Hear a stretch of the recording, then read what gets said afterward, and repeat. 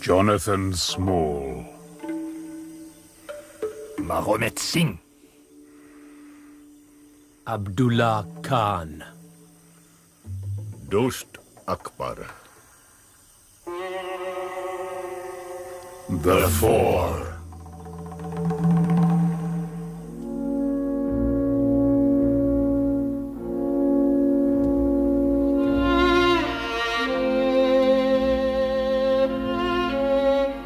The Sign of the Four by Sir Arthur Conan Doyle, dramatised in two parts by Bert Coules, with Clive Merrison as Sherlock Holmes and Michael Williams as Dr. John Watson. The Sign of the Four, Part 1, Timbertoe.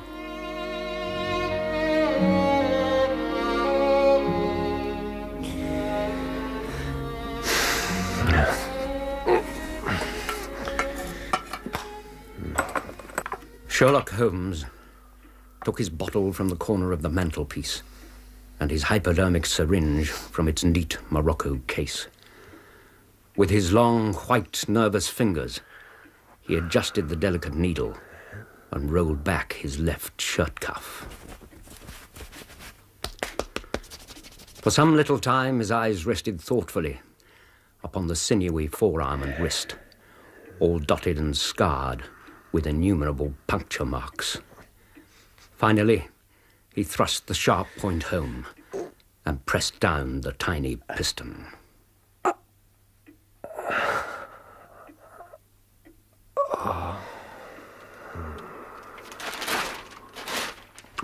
Which is it today? Morphine or cocaine? Cocaine. Uh, Seven percent solution. Would you care to try it? No, thank you. Ah, perhaps you're right, Watson. Uh, yes, I, I suppose its influence uh, is physically uh, a bad one. You suppose? If you have any doubts in the matter, I shall be delighted to dispel them. I find it so stimulating and clarifying to the mind, however, that its, its, its secondary action is a matter of small moments. Small moment. It's a pathological and morbid process. It involves increased tissue change and leaves a permanent weakness. And you know what a black reaction comes on you afterwards. No. Ah. For God's sake, count the cost! My mind rebels at stagnation. You know, give me problems, give me work, give me the most abstruse cryptogram and the most intricate analysis, and I can dispense with artificial stimulants. oh, I crave for mental exaltation. and what do you present me with? huh? This. A study in scarlet. Yes. Uh, uh, mm. Uh, Lucy was silent, but her blushing cheek and her bright, happy eyes showed only too clearly that her young heart was no longer her own. Romantic drivel! But the romance was there. I couldn't tamper with the facts. Uh, well, some fact should be suppressed. I can't believe that. The only point in the case which deserved mention was the analytical reasoning I used to unravel it. Oh, I see. Every line should have been about you. And you call yourself a scientific detective.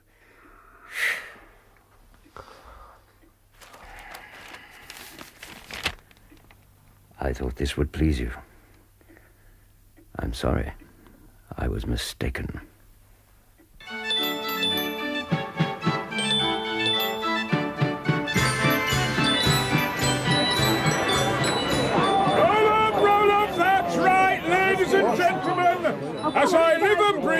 And I wouldn't tell you no lie now, would I? The only one in captivity, the only one ever tamed, the only one ever taken from its own heathen lands and brought into civilization. Don't alarm yourself, madam. It is securely chained up in there. Oh, yes, sir, bonds of the finest British steel.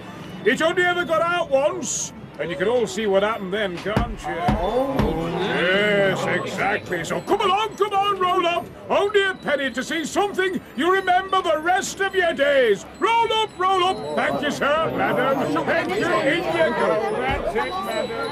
In you go. That's it.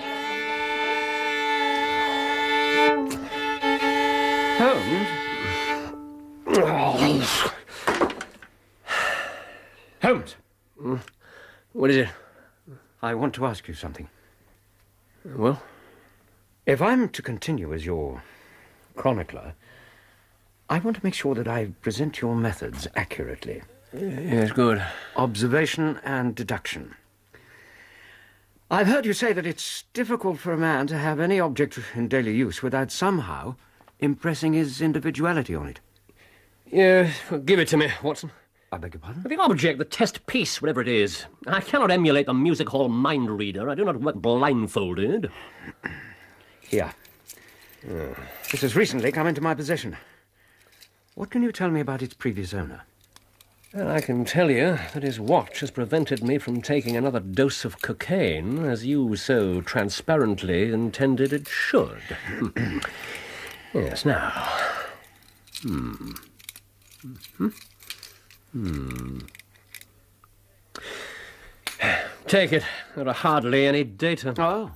So what about your theory? Precision, Watson. Hardly any, not none. Now, subject to your correction, I should judge that the previous owner of that watch was your elder brother, a man of untidy habits, very untidy and careless. He was left with good prospects, but he threw away his chances, lived for some time in poverty with occasional short bursts of prosperity, and finally, taking to drink, he died. That is all I can gather. This is unworthy of you, Holmes. You made inquiries into the history of my unhappy brother. And now you pretend to have deduced the knowledge in some fanciful way. I didn't think you capable of descending to something like that. Oh, My dear doctor, pray accept my apologies. Viewing the matter as an abstract problem, I never thought how personal and painful a thing it might be to you. I assure you that I never even knew you had a brother until you handed me that watch. Then how did you get those facts? You were correct in every particular. Well, the date of the watch is nearly 50 years back, and it carries the initials H.W. The W obviously suggests your own name. Your father has been dead many years, and jewellery usually descends to the eldest son. Uh, to deduce a brother is no major achievement. That the brother is no longer alive is strongly suggested by the simple fact that you are now in possession of his timepiece. And your insights as to his character? Well, look how the case is dented and scratched. It's marked all over.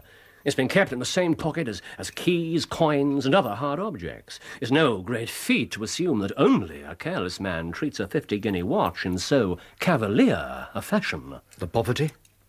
Open it. And when a pawnbroker takes a watch, he scratches the number of the ticket on the inside of the case. Now, there are, are no less than four such numbers visible there. Hmm? Inference that your brother was often at low water. Huh? Secondary inference? And that he had occasional bouts of prosperity. Or he couldn't have redeemed the pledge. Exactly. And finally, if you look at the inner plate which contains the keyhole. Uh, here, here. Uh, use my lens. There are more scratches. Hundreds of them. Hmm, marks where the key has missed its target. You'll never see a drunkard's watch without them. Where's the mystery in all this? You're right. I'm sorry. I should have more faith in your powers. Yeah, what's the use of having powers when one has no field upon which to exert them? oh, look out there. Was ever such a dreary, dismal, unprofitable world? What could be more hopelessly prosaic and material? Crime is commonplace. Existence is commonplace, and no qualities except those which are commonplace of any function upon earth. But surely.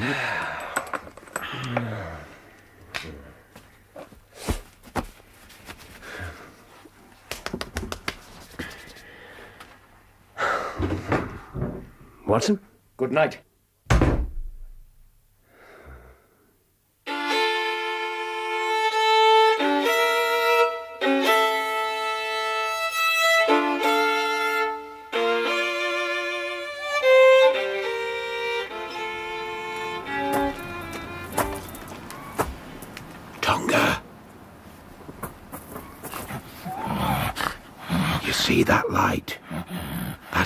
It is.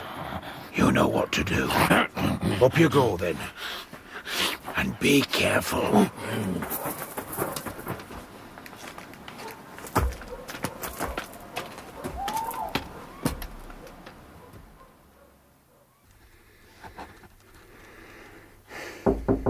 Come in, Mrs. Hudson. Good news, sir. A client. Oh, thank heaven. A young lady, well dressed and rather reserved. I'll tell him. Please wait a moment or two, then show her up. Yes, Doctor. Let's hope he finds her problem interesting. Amen. Holmes? Holmes? A client? Holmes? I'm going to open this door. Very well.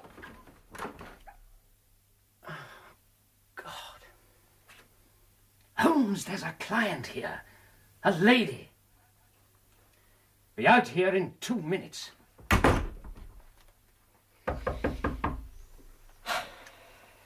Come in. Miss Mary Morstan. Ah, please come in, Miss Morstan. I am Dr. John Watson. Mr. Holmes will be here in a moment. Good morning, Doctor. Thank you, Mrs. Hudson. Yes, thank you. Please sit down. Thank you. Whatever it is that's disturbing you, I'm sure that Mr. Holmes will be able to help. You're very kind. I've come here because you and Mr. Holmes once acted for my employer, Mrs. Cecil Forrester, Mrs. Forrester. of Lower Camberwell. She was much impressed by your kindness and skill. It was a very simple case. Miss Mary Morstan. Mr. Sherlock Holmes. An exceedingly simple affair. She did not think so. Nonetheless. Well, at least you cannot say the same of my problem. Please continue, Miss Morstan. Briefly, the facts are these.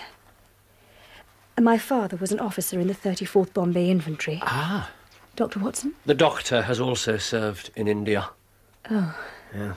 Pray continue. My mother died when I was a child, and I was sent home to England to live. I was placed in a boarding establishment in Edinburgh, and I remained there until I was 17. My father obtained 12 months' leave and came home to London, telegraphing me that he had arrived all safe and directing me to come down at once to the Langham Hotel. His message was full of kindness and love. I drove to the Langham and was informed that Captain Morstan had gone out the night before and had not returned. I waited all day, but there was no news of him. And that night, on the advice of the manager of the hotel, I communicated with the police. Their inquiries led to no result, and nothing more has been heard of my unfortunate father. He came home with his heart full of hope to find some peace, some comfort. And instead, The date? he disappeared upon the 3rd of December, 1878. Seven, ten years ago. But What happened to his luggage? It had remained at his hotel. There was nothing in it to suggest a clue. Clothes, and books, and a number of curiosities from the Andaman Islands. Mm-hmm. Was that his posting? He was one of the officers in charge there. It's a penal colony, Holmes. Hmm? Terrible place by all accounts. So Papa used to say in his letters. Uh, well, had your father any friends in town? Only one that I know of, Major Sholto, a fellow officer from the penal colony. The Major had retired some little time before and lived at Upper Norwood. I communicated with him, of course. But he didn't even know that my father was in England. A singular case, eh, Holmes? I haven't yet described to you the most singular part. Well, then pray do so. About six years ago, a notice appeared in the Times asking for the address of Miss Mary Morstan and stating that it would be to her advantage to come forward. Oh, indeed. Um, do you happen to recall the precise date? The 4th of May, 1882. Here is the cutting. Oh, very good. Thank you. By that date, I'd entered the family of Mrs. Cecil Forrester in the post of governess. On her advice, I published my address in the newspaper. Hmm? With what result?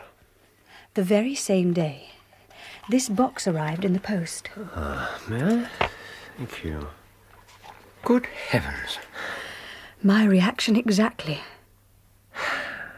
I don't believe I've seen a more lustrous pearl. Or a larger. It's beautiful. Since then, every year upon the same date. Well, you can see for yourself.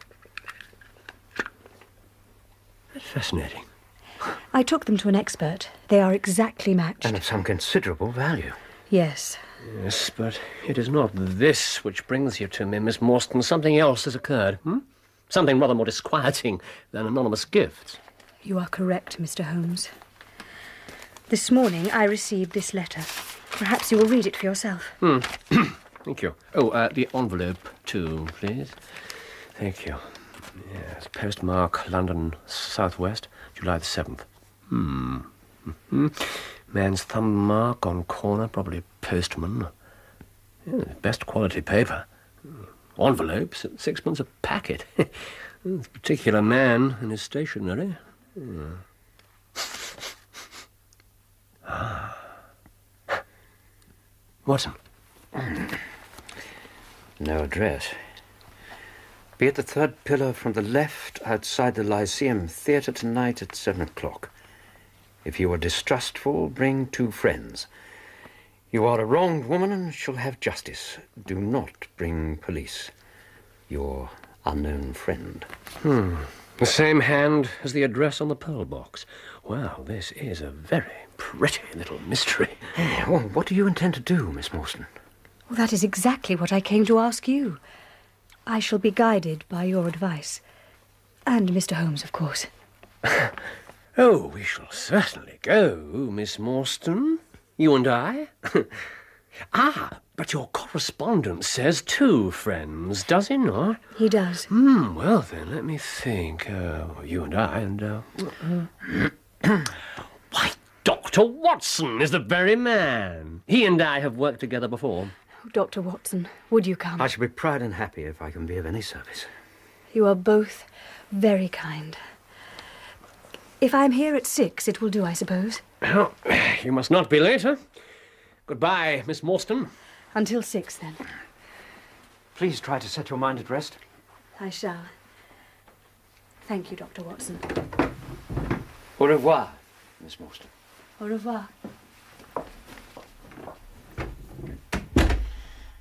Hmm. What a very attractive woman.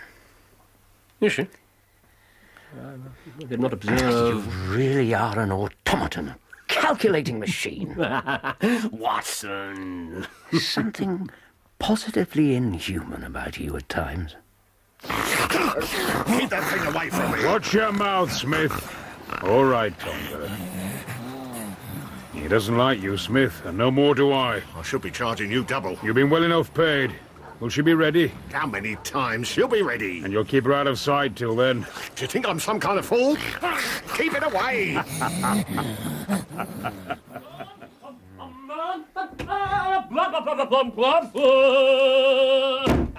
I was beginning to think that you were going to be late. And you were looking forward to riding off alone with a decorative, Miss Morstan. I thought you hadn't observed that. Ooh, writing it up already, eh, Watson. More gems for your avid public. her expression was sweet and amiable, and her large blue eyes were singularly spiritual and sympathetic. In an experience of women which extends over many nations and three separate continents, I have never... If you say one word, I swear I'll walk out of the door. Pour me some tea. There's a good fellow. you know, there's no great mystery in this matter. What? You've solved it already? Mm, no, that would be too much to say. I've discovered a, a suggestive fact. That's all. Suggestive fact. Well, actually, a, a very suggestive fact. Major John Sholto, late of the 34th Bombay Infantry, thank you, Doctor, died on the 28th of April, 1882. I may be very obtuse, Holmes, but I fail to see. No. No, wait a minute. Uh, Miss Morstan received her first pearl at the beginning of May that same year. Within a week of the death of her father's only friend in England. Very suggestive. It's nearly six. Be so good as to bring your heaviest stick. You're anticipating danger? I believe we are in for a serious night's work.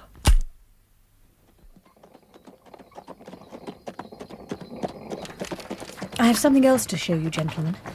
This is a paper which I found in Papa's things. I've always assumed that it was just another souvenir. But since it is a little out of the ordinary, I thought you might wish to see it. You certainly are a model clad. And this is paper of native Indian manufacture. It has at some time been pinned to a board. Your father evidently held it to be of some importance, for it's been kept carefully in a pocketbook. Yes, that's where I found it. Yeah, one side's as clean as the other, drawn in pencil but almost faded. When I first saw it, I thought it was a pattern, but it's actually a diagram or plan of some kind. Matters Indian are the doctor's territory. Thank you. Yes, I'm sure you're right, Miss Morstan. I'd say that this is a plan of some large and complex building. Interesting this cross in the centre, eh, Holmes? And the words 337 from left. Uh, I confess to being more intrigued by the inscription at the bottom. Strange collection of names. Jonathan Small, Mohammed Singh, Ab- Abdullah Khan, Dost Akbar. Uh, one Westerner, two Mohammedans, and uh, what about the fourth, Watson? Oh, it's a sort of Mohammedan Sikh hybrid. Mm, Do you know any of these people, Miss Morstan? I'm afraid not. Nor did my father ever mention them in his letters. Oh, what about this symbol? I've never seen anything like it anywhere else. Hmm, nor have I. Four crosses in a line with their arms touching. And written through them. The sign of the four.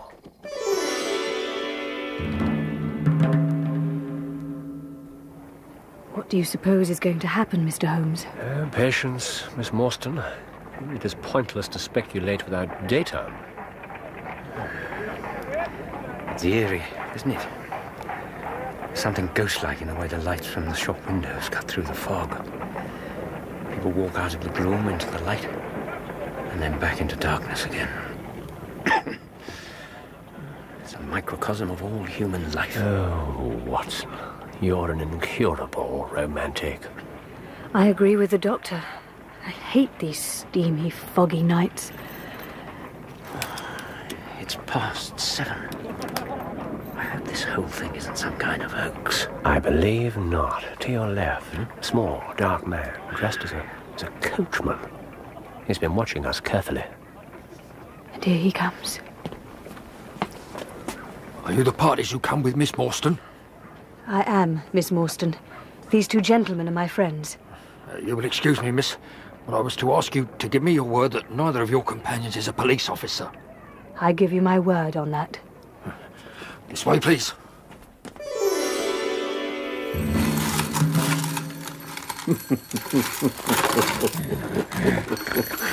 Look at it, Tonga. Look at it. After all this time. Soon be out of this damn place. We can live like kings, like Maharajas, eh? We've done it, Tonga. Vengeance for the four. Where do you think he's taking us? Our quest does not appear to lead us to very fashionable regions. Fog's got thicker. I can't see a thing. We're in Robert Street.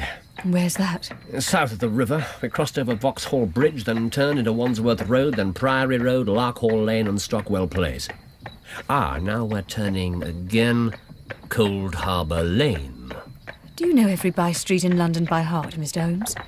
It's a hobby of mine. We're stopping. Dull brick houses, new, I think. Hardly any lights. There's a door opening.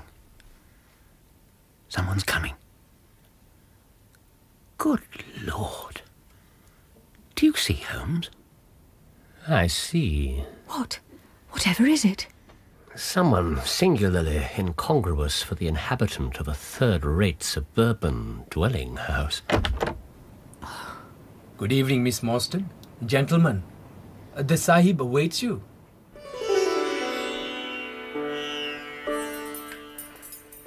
Your servant, Miss Morstan. Your servant. Uh, your servant, gentlemen. Welcome to my little sanctum. Uh, thank you, Khitmutgar. Sahib. A small place, Miss Morstan, but furnished to my own liking. An oasis of art in the howling desert of South London. It's beautiful. It seemed to me that if I could not take myself to India, I could at least bring a little of India to me. Mr. Thaddeus Sholto, uh, that is my name. Sholto? Quite so. You are Miss Morstan, of course. And these gentlemen? Mr. Sherlock Holmes and Dr. Watson. A doctor, eh? Have you your stethoscope? I have grave doubts as to my mitral valve. Might I ask you, would you have the kindness... Uh, Mr. Sholto, this is hardly the time. Perhaps not, perhaps not. Uh, possibly later? Uh, You will excuse my anxiety, Miss Morstan. I'm a great sufferer, and the heart is so vulnerable. Mr. Sholto, why did you not simply ask Miss Morstan to come directly to this address? Hmm? Why all the secrecy? Because I feared she might bring unpleasant people with her.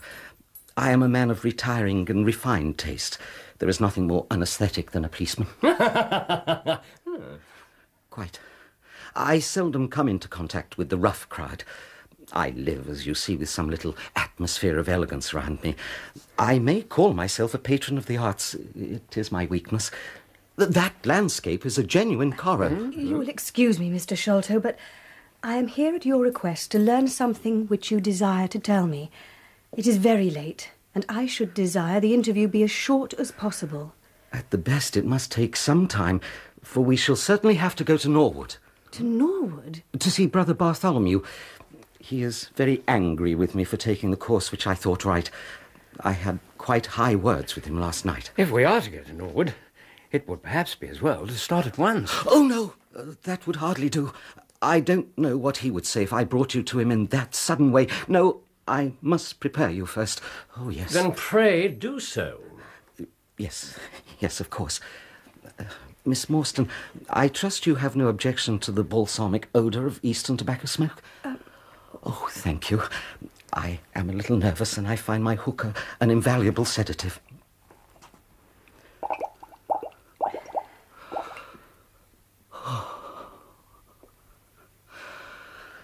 Very well. My father was, as you may have guessed, Major John Sholto, once of the Indian Army. He retired some eleven years ago and came to live at Pondicherry Lodge in Upper Norwood. He had prospered in India and brought back with him considerable wealth, a large collection of valuable curiosities, and a staff of native servants. We lived in great luxury. We came to realize that some mystery, some positive danger overhung our father. Mm-hmm. He was very fearful of going out alone and was greatly distrustful of strangers. O- On one occasion, he actually fired his revolver at a wooden legged man, a harmless tradesman. We had to pay a large sum to hush the matter up. Early in 1882, my father received a letter from India.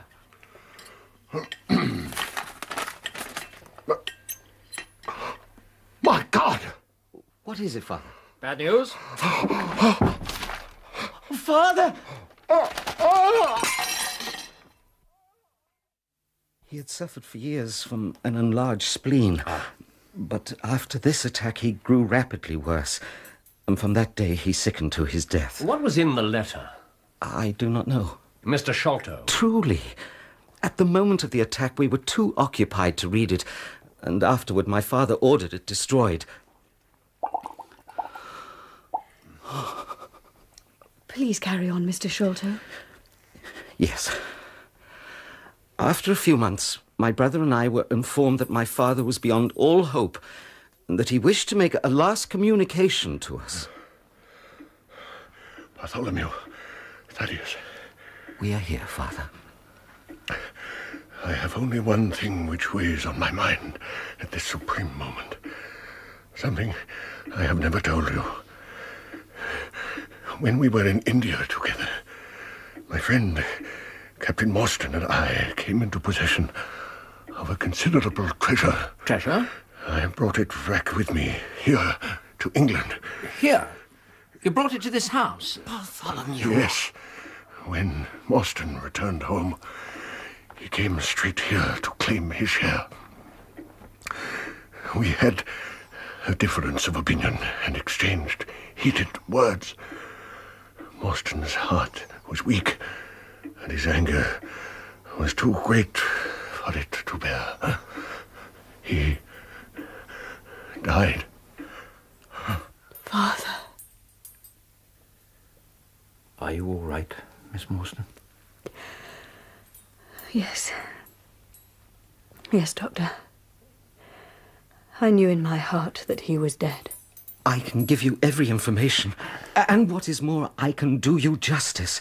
And will too, whatever Brother Bartholomew you may say. Never mind your information.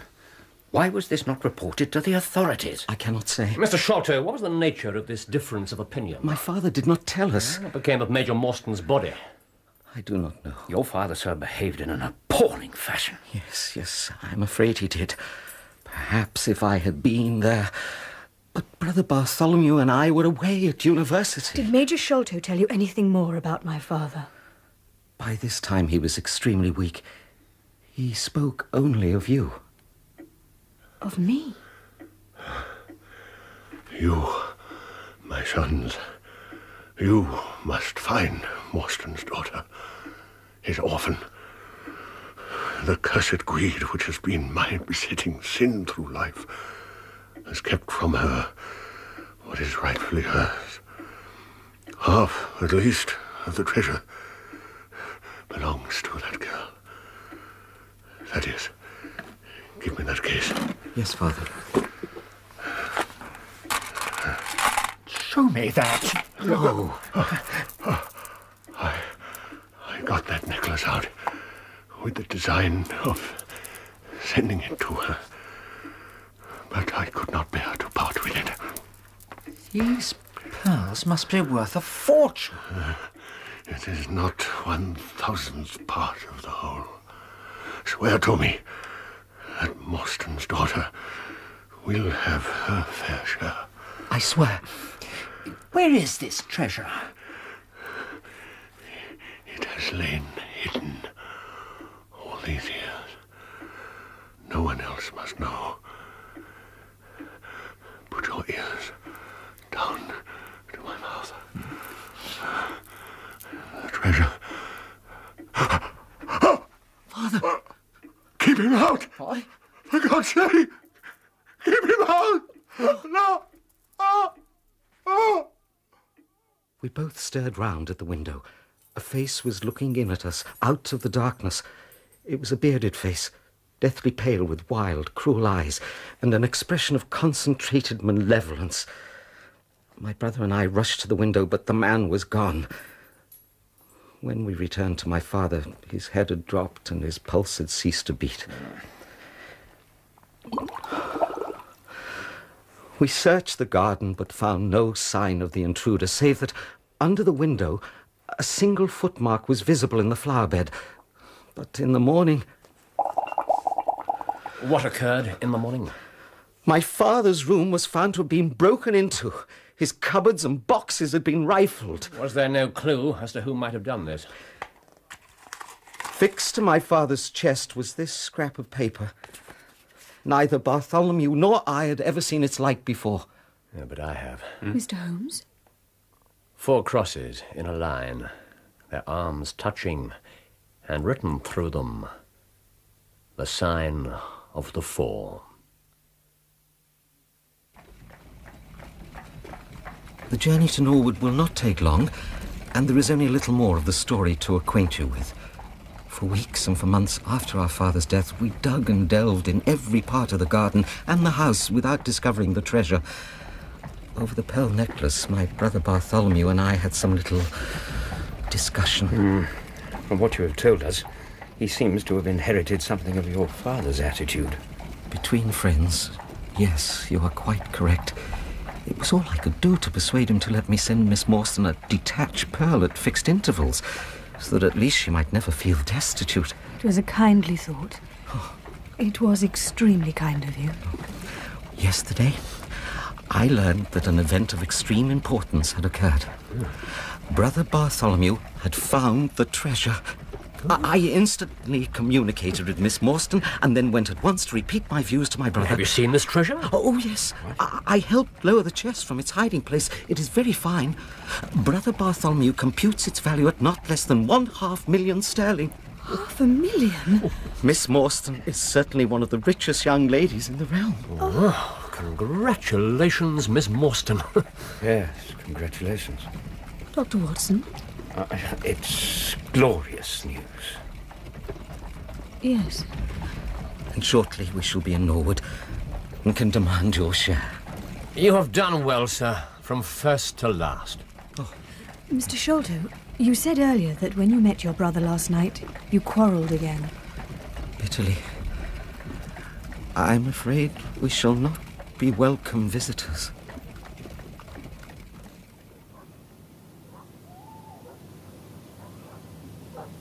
What a desolate place. Yeah. This garden must have been lovely once. It looks as though all the moles in England have been let loose in it. The traces of the treasure seekers. You must remember that we were six years looking for it. Uh, come along. We are expected. Dr. Watson? What is it, Miss Morstan? Oh, nothing. Forgive me. You're trembling. This place. It is the cold. You'll feel better inside the house. Yes. Please try not to be afraid. I am not afraid. Not while you are here. Oh, my dear. Come along.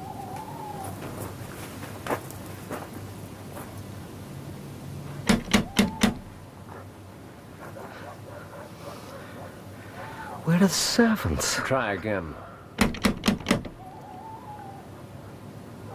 Someone's coming. Oh, Mr. Thaddeus, sir. I'm so glad you've come. Mrs. Bernstone, whatever is the matter? Oh, please come quickly, sir. Something terrible's happened to Mr. Bartholomew. Brother Bartholomew? Touch nothing! Oh, what's that smell? This is some kind of laboratory. Mr. Sholto, do not touch him. But. Watson. Excuse me. Oh, Mm. He's been dead many hours. why is he all twisted? Look at his face. What's this paper? Holmes? Yes, I see it. Here. The sign of the four. In God's name, what does it all mean? It means murder. Oh, I cannot stand it. I shall go mad. What is happening? What are you looking for? This. Looks like a thorn. It is a thorn. Uh, be careful. It's poisoned. Things grow darker instead of clearer. Ooh, on the contrary. Things clear every instant. Oh, oh, Now, what is it now? The treasure is gone. They have robbed him of the treasure. Do you mean to say it was in this room? Yes, the, the hiding place was above this very chamber. It has a false ceiling. See, uh, there is the hole through which I helped Bartholomew lower the chest last night. I was the last person to see him. I heard him lock this door as I went downstairs. What time was that? It was ten o'clock. Uh, now he is dead, and the police will be called in, and I shall be suspected. I know that I shall go mad. You have no reason for fear, Mr. Sholto. No reason for fear. Take my advice. Go down to the local station and report the matter to the police. Offer to assist them in every way. We shall wait here until your return. Yes, yes. I, I shall do as you say. Ah. I, I am innocent. They will see that I am innocent. I have nothing to fear. Has he gone? Yes. Isn't this splendid? now, Watson, we have half an hour to ourselves. Let us make good use of it. More than one intruder. Two. How did they come? How did they go? The door has not been opened since last night. How of the window? Hmm, snibbed on the inner side. Framework is solid, no hinges exposed. Open it. No water pipe near, roof out of reach. Ah, single footmark on the sill. Mud from the rain last night. Coil of rope against the far wall. Stout hook. Yes, yes. Now the floor. Nothing. Nothing. Ha! What have you found? See, here, and here, and there, by the table. Those are not footprints. No, there's something much more valuable. It is the mark of the timber toe. A wooden stump? Didn't Sholto mention a wooden-legged man? Yes, it did. The late Major had an aversion to them, if you remember. My God. With good reason, seemingly. But how did he get in here? Through the window. But it was latched on the inside. I saw you open it. Besides, no one could scale that wall. It's impossible. But suppose you had an ally, huh? A friend with a rope. Uh, This rope. two men? One of whom tied the rope to this hook in the wall. I think if you were an active man, you might swarm up, wooden leg and all. Hmm, and depart in the same fashion. Oh, very good, Watson. Incidentally, our wooden legged friend isn't a sailor. His hands are too soft. There are flecks of skin and blood on this rope in several places. But what about this ally? Yes, the ally. Oh, he lifts the case from the regions of the commonplace. I fancy that this ally breaks fresh ground in the annals of crime in this country. How came he into the room? The door was locked, the window was inaccessible. Hmm? There wasn't a chimney, the grate is far too small. Yes, yes, well then. Huh, I can't see it. Oh, yes, you can, but you will not apply my precept. How often have I said to you that when you have eliminated the impossible, whatever remains, however improbable, must, Must be the, the truth? Yeah. He came through the hole in the ceiling. Of course he did. Now, we shall now extend our researches to the room above, the secret attic. Now, I fancy this ladder must have been in place here. I'll pass you up the lamp when you're in position. Thank you.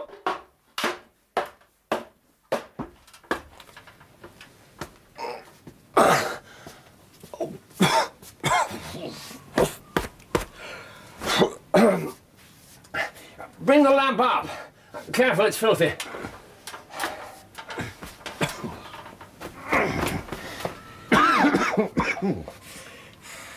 Is that a trapdoor? Yes, onto the roof. It opens far too easily. Look at the hinges. The rust is nearly fallen away. Hmm, so it's been opened recently. But it's just a ventilator. Could you get through there? I don't believe so. I certainly couldn't. Yes, but somebody could. Now let's see if we can find some other trace of our ally's individuality. In this dust, it shouldn't be difficult. ah, What is it? just here. A clear print. Hold up the lantern. You see? Holmes. A child has done this terrible thing.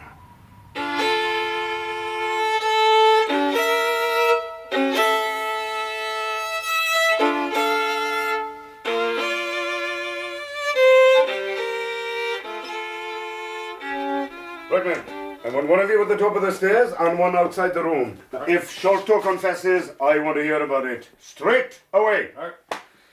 Now, here's a business. Here's a pretty business. Hello? Who are you two? I think you must recollect me, Inspector Athelney Jones. Why, of course I do. It's Mr. Sherlock Holmes, the theorist. Hmm. I'll never forget how you lectured us all on inferences and effects in the Bishopsgate jewel case. Hmm. Well, it's true you set us on the right track, but you'll own now that it was more by good luck than good guidance. It was a piece of very simple reasoning. Oh, come now, come, come, come. Never be ashamed to own up. But what is all this? A bad business. Stern facts here. No room for theories. Lucky I happened to be at the station when the message arrived. And who are you? Dr. John Watson. Oh, a medical man, are you? Mm-hmm. Well, what do you think he died of? This is hardly a case for us to theorize over. No, no. Still, we can't deny that you hit the nail on the head uh, sometimes. Door locked, I understand. Jewels missing. Uh, well, how was the window? Uh, Fastened, but there are marks on the sill. Well, if it was fastened, the marks have nothing to do with the matter. Common sense. Hmm. Now, I have a theory. These flashes come upon me at times. Uh, what do you think of this? Sholto was on his own confession with his brother last night. The brother died in a fit, on which Sholto walked off with the treasure. How's that? And then the dead man, very considerately, got up and locked the door from the inside. Oh, yeah, yeah. Well, there is a flaw there, but uh, I'm weaving my web around Thaddeus Sholto. The net begins to close. You are not quite in possession of all the facts yet. No? No. This thorn, Uh-huh. Well, let me examine it. which I firmly believe to be poisoned, Well, yes, well, uh, better wait for the police doctor. It was in the dead man's neck. You don't say. Well, uh, you put it down uh, somewhere safe, um, over there. And this paper, inscribed as you see it, was on the table. Yes. It's, it's perfectly harmless. The sign of the four. How does that all fit into your theory? Confirms it in every aspect. What? Oh, yes, oh, yes. Um, Constable, uh, bring up Mr. Sholto. Yes, Doctor, this is the very proof I need. The house is full of curiosities. Who better to leave these things than the man who used to live here? The only question is, how did he depart? Now. Now. I. Jones? Well, what is it? More reasoning? Uh, the solution to this problem is over your head. Now then, Mr. Holmes, there's no need for you. Oh. yes, there's a hole in the ceiling. Oh, well done, Inspector. And a ladder. In here, in here, Constable. Right there. Um, I tell you, Constable, I had nothing to do with it, Inspector. Mr. Sholto, it is my duty to inform you that anything which you may say will be used against you. No. I arrest you in the Queen's name as being concerned in the death of your brother. Didn't I tell you, Mr. Holmes, Dr. And Watson? don't trouble yourself, Mr. Sholto. I think that I can engage to clear you of this charge. Don't promise too much, Mr. Theory. Not only will I clear him, Mr. Jones, but I will make you a free present of the name and description of one of the two people who were in this room last night. His name, I have every reason to believe, is Jonathan Small. He's poorly educated, active, with his right leg off below the knee and wearing a wooden stump. He's middle aged and has probably been a convict. There's a good deal of skin missing from the palms of his hands. The other person. Oh, yes, oh, yes, the other person. is a rather curious individual. Take him away, Constable. No, pity. Come along now, sir. Please, I had nothing Don't to do make with it. any trouble this way, come on. Well, I've got my man. Good night to you, gentlemen. Good morning to you, Inspector. Huh?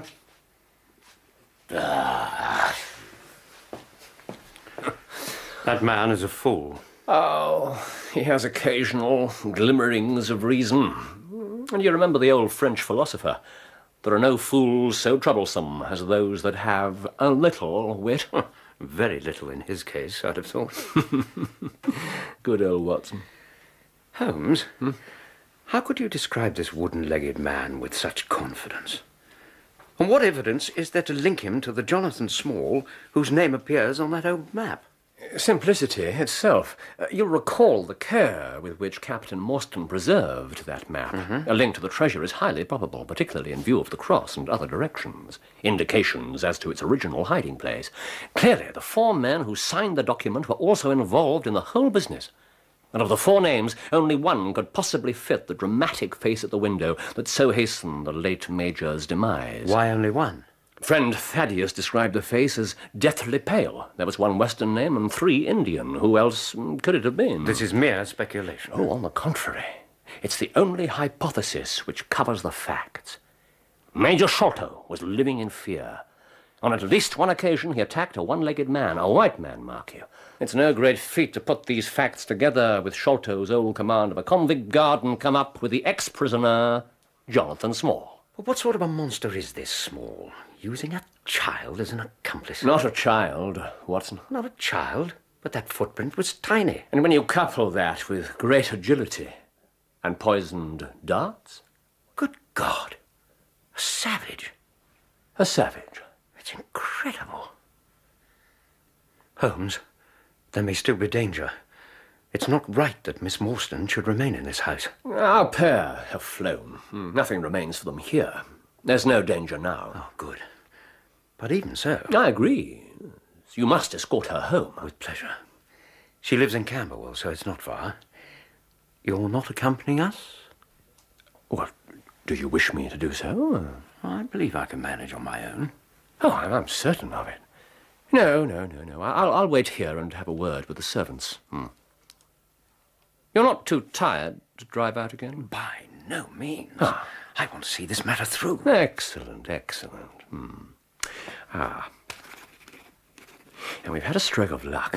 The smell you remarked on was creosote. There's a carboy of the stuff in that corner. It's cracked and leaking. And that's lucky? Oh, extremely. Our friend, the ally, has had the misfortune to tread in it. now, after you've dropped Miss Morstan, go to this address and ask for Toby. Toby? Ah, I'd rather have his help than that of the whole detective force of London. Ah, a dog. Yes. In the meanwhile, I shall study the methods of the great Jones. Oh, here's a business. Here's a pretty business. Holmes? My dear fellow? Extraordinary, isn't it? Just this morning you were complaining that everything on the planet was commonplace. And you could think of nothing but my self-poisoning by cocaine. Yeah.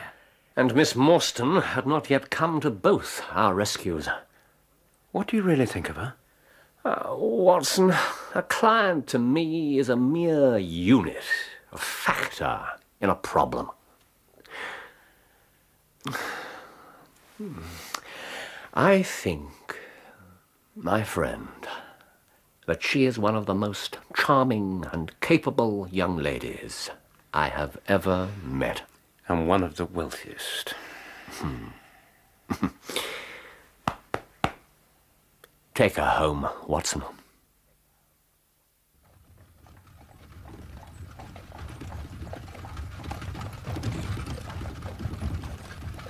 Dr. Watson, Yes, Miss Morstan?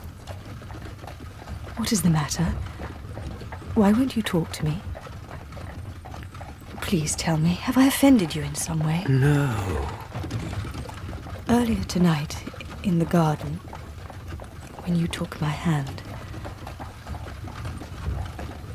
It is forward of me to speak this way, I know it, but I thought. I should not have done it. Forgive me. Forgive you? What are you saying? I had no right. No right. If you had not done it, if you had not been there, I should have fled from that terrible house. It was your presence that gave me strength. What is there to forgive?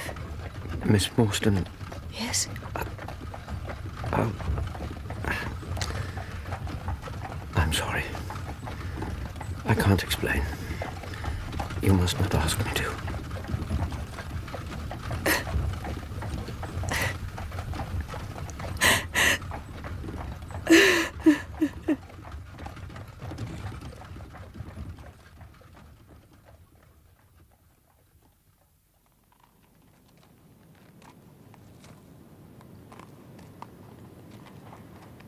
I'm so sorry.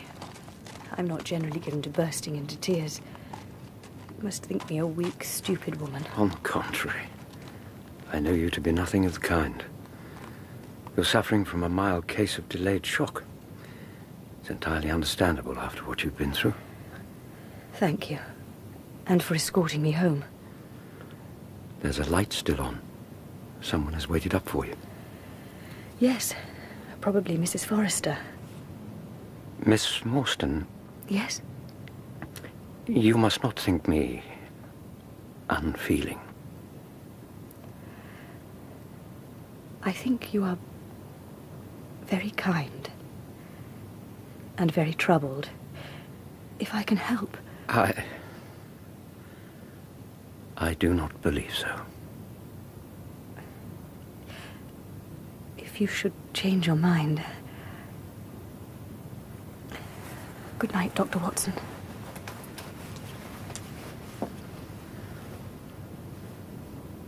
Good night.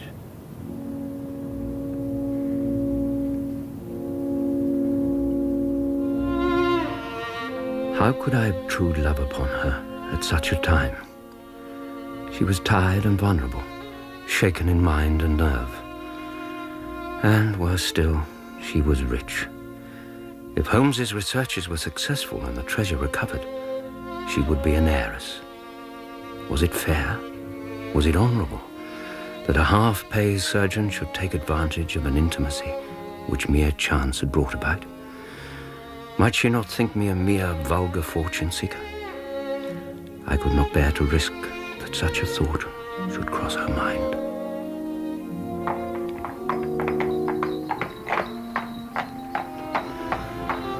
I stole a glance back, and in my mind I still seem to see that picture. The graceful figure on the step, the half-open door, the hall light shining through stained glass, the barometer, and the bright stair rods. It was soothing to catch even that passing glimpse of a tranquil English home in the midst of the wild, dark business which had absorbed us. Then the carriage turned corner, and it was gone. We rattled away through the silent, gaslit streets.